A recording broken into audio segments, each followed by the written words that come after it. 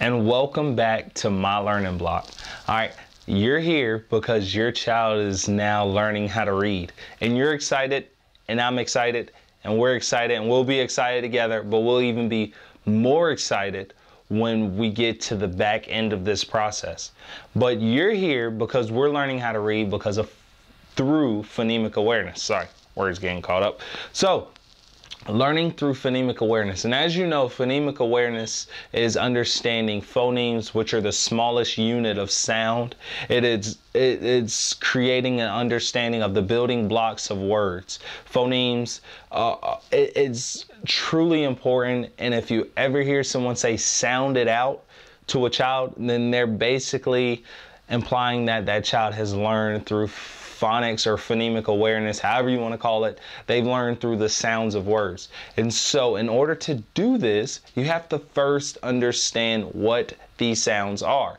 Um, and so you're here at this video because you want to learn the sounds of B, D, and C.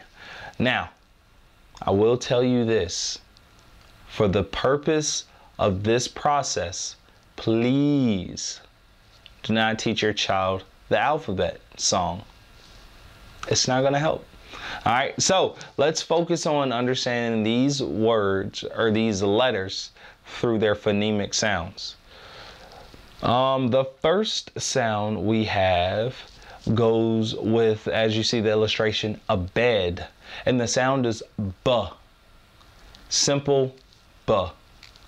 B like bed. Next, we have k, k, like cat. And then finally, we have d, d, like dog.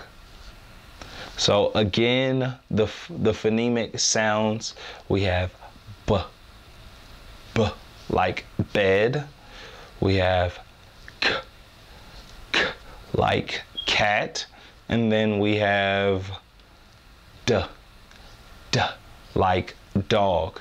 Now it's important that when you're introducing these sounds to your child, allow them to see the letter, to hear the sound, and if they have the opportunity to see your lips, see how your mouth moves in order to create these sounds. That's very important and it'll help out when the time comes to blend these sounds together.